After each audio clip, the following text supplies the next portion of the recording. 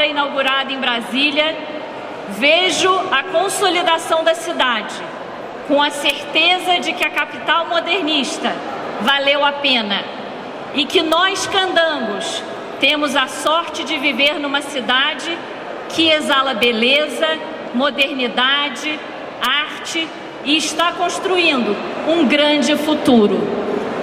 Que Deus ilumine Brasília e abençoe este empreendimento. Muito obrigada.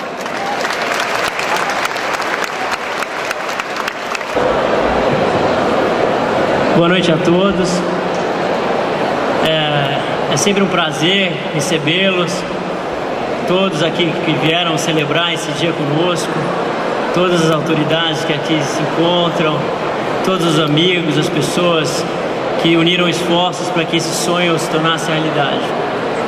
50 anos atrás, ah, meu avô chegava a essa cidade para realizar também um sonho, eu acho que um sonho de todos os brasileiros, um sonho de uma nova capital que faz, fez parte, que faz parte hoje da nossa história e que foi executado por uma pessoa, um dos maiores sonhadores do Brasil, que sonhou grande, que sempre pensou grande e que fez dessa capital uma referência para o mundo inteiro. Brasília hoje é patrimônio não só dos brasileiros, mas do mundo inteiro, por tudo que ela representa, pela sua arquitetura, cultura, dinamismo, economia.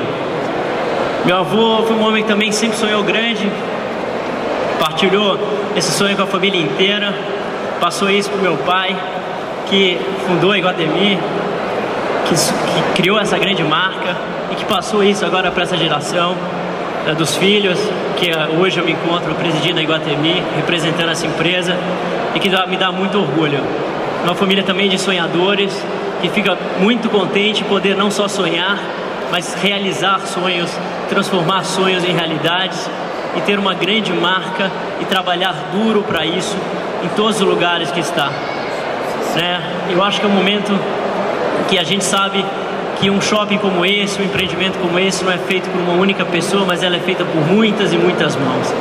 Ela é feita por parcerias de várias pessoas trabalhando em conjunto. Então é um, é um momento também de se agradecer, se agradecer aos órgãos uh, do Distrito Federal, a todos eles que colaboraram para que essa obra acontecesse, uh, aos nossos parceiros todos os fornecedores, todas as pessoas que se dedicaram a essa obra para que ela saísse com a qualidade que vocês vão ver no dia a dia.